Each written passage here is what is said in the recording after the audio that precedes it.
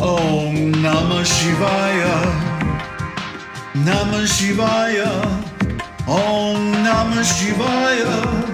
Om Namah Shivaya. Om Namah Shivaya. Namah Shivaya. Om Namah Shivaya. Om Namah Shivaya. Om. Namaste. So let's talk about chapters 14 and 15 of the Vidyeshwara Samhita of Shiva Purana. These are very important chapters. If you haven't watched the video or listened to the reading of these two chapters, do it now, and that, then you'll understand what I'm talking about. Otherwise, I notice that the readings get less views, like half the views of the spiritual insights videos. Um, that means you're not listening to the actual chapters, the, the material that I'm talking about, the context that I'm referring to in these spiritual insight videos. So it's very important. You should go through those too. In fact, you should hear them first and then watch or hear the spiritual insights. That'll make everything so much more meaningful and useful for you. Okay, these two chapters talk about karma yoga. Now, if you're wondering why you don't feel like you're making spiritual advancement, or why it's hard for you to meditate, or why love of God isn't blooming in your heart, huh? If you're wondering uh, or having difficulties in any area of your spiritual life. It's probably because of insufficient performance of karma yoga. Karma yoga is the foundation. It generates the punya or virtue, the subha karma. Subha karma means good karma that leads to uh, advancement in spiritual life. You have to have that before you can really get into bhakti or anything else. Your life has to be in order. And you have to have what uh, my Adi Guru would call a good fund of knowledge. So these two chapters reveal so much about holy rituals that the results of the rituals differ according to the day of the week, for example, and that so many different rituals are available. You know, it's like you go into a big restaurant and the menu is 20 pages long. and you have to select what am I going to eat, you know, out of all these choices. Well, it's the same with spiritual rituals. You can choose according to your preference, according to your Ishta Devata, your preferred deity, according to the days of the week, uh, depending on what kind of result you want. Uh, you can satisfy all your desires through these rituals. You know, it, people don't believe this, but it's true. If you perform these rituals on a regular daily basis, things will just drop out of the sky. I'm telling you, it's magic, okay? Because this is God reciprocating your worship. Whatever you do for God, God will do for you. But when He does, it's like 10 times or 100 times or 1,000 times our tiny little efforts. Uh, our imperfect worship is reciprocated in perfection by God. So take advantage of these rituals and make your life perfect. Huh? Then you can go higher on the scale and attain the really esoteric goals that will be discussed later on in Shiva Purana. Now, these two chapters are notable for a couple of reasons. One is that these are the first two chapters in Shiva Purana that have Phala Shruti at the end. Phala means fruits, and Shruti means hearing, comes from the root shrav. So to hear the results of studying or hearing or learning these chapters. This is a very important part of the study of any scripture. And in Shiva Purana, the results are amazing. Huh? Like in chapter 14, he says, He who hears this chapter or reads it, or he who facilitates the hearing of the same, shall derive the fruit of Deva Yajna. Huh? What is the fruit of Deva Yajna? All desires satisfied. We all need food and drink and enjoyment and shelter and clothing and companionship and so many other things. So these things are absolutely achievable through the process of Deva Yajna. Deva means God or gods, and Yajna means sacrifice. So by offering things to God, according to the rules in the Shastra, which are our only guide, really, that means we get, by, by means of the law of karma, we get the results. Now, what is that law of karma?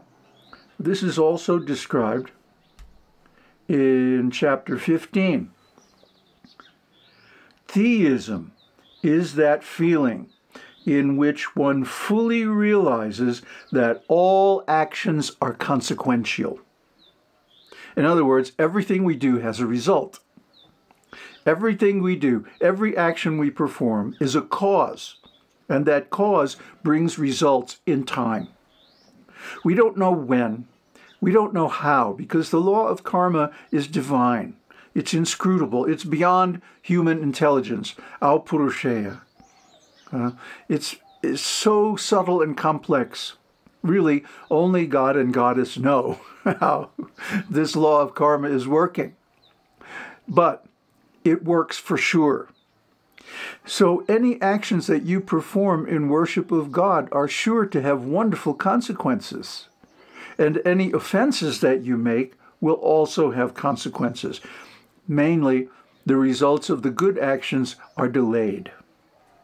So you want to, on the one hand, perform uh, sacrificial rituals for God, and on the other, you want to avoid offenses, and that means offenses to the Lord or to his devotees. So, what is the result of studying or hearing the 15th chapter? If he performs the sacred rites with dedication to God, he shall attain salvation. He who reads or hears this chapter becomes righteous and endowed with knowledge. See, this is why I recommend that you hear the reading, because just listening to me talk about it is not going to give you the same result.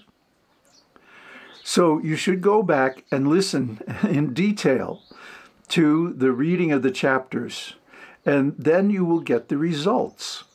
See, now you'll be amazed by some of the Phala Shrutis in the upcoming chapters of Shiva Purana. I mean, it's amazing. Just by hearing certain chapters, for example, one is guaranteed liberation. This is huge. Just by listening to a chapter, well, don't discount it because when you hear this knowledge, it goes in through the ears and it resides deep in the mind. You know, the mind contains recordings of everything we've ever experienced. And so it remains in the mind, and slowly, slowly, it connects with all of our experience. And we begin to view the world according to the uh, summary or the total of all the knowledge and experience that we have in our life. So, by hearing these wonderful scriptural descriptions that go beyond human intelligence, one's intelligence actually expands and one becomes uh, spiritually intelligent. You get divya jnana. That means spiritual knowledge and realizations. Just by hearing. Shravanam, Kirtanam, Mananam. Remember from chapter 10? By hearing and then repeating and then by contemplating or meditating on the what you have heard you get all kinds of spiritual benefits. Why do you think I'm taking so much trouble to read all these chapters and then to discuss them and give the meaning and interpretation of difficult points?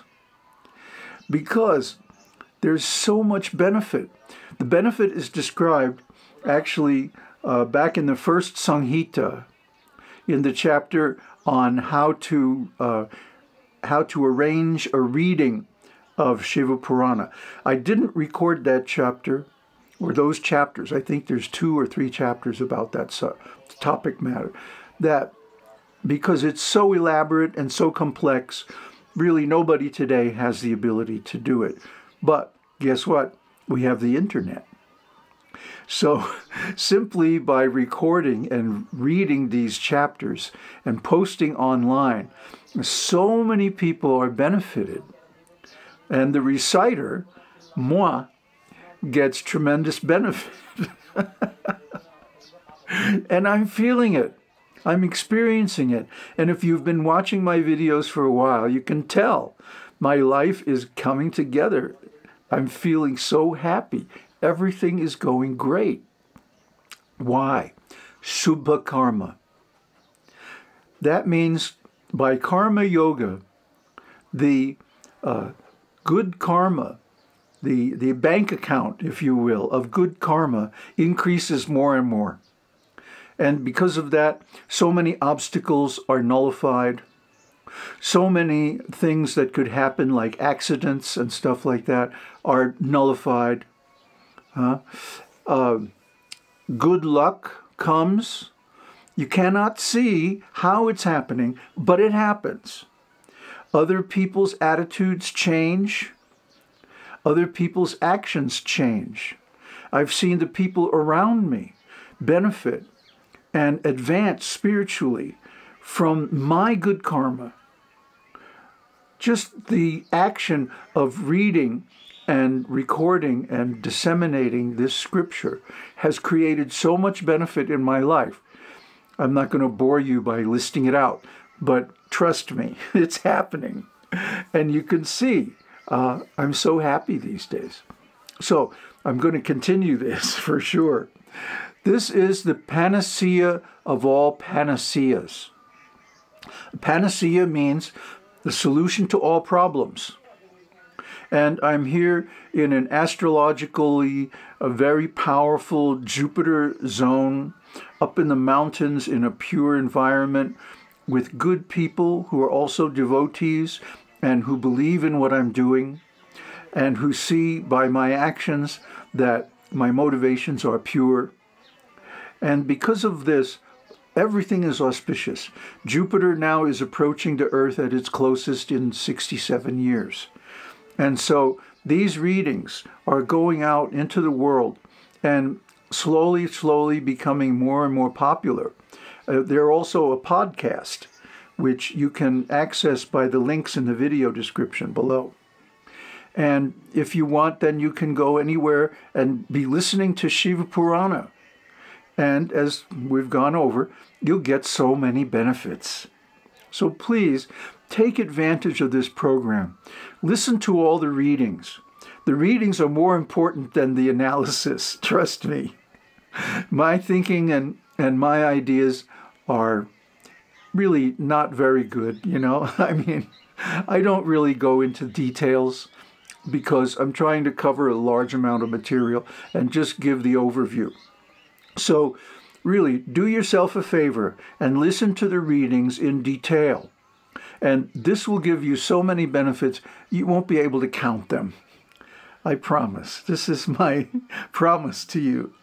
So I'm experiencing myself, and you can experience this too. And ultimately, you will attain full enlightenment, complete self realization and personal association with Shiva and Shakti.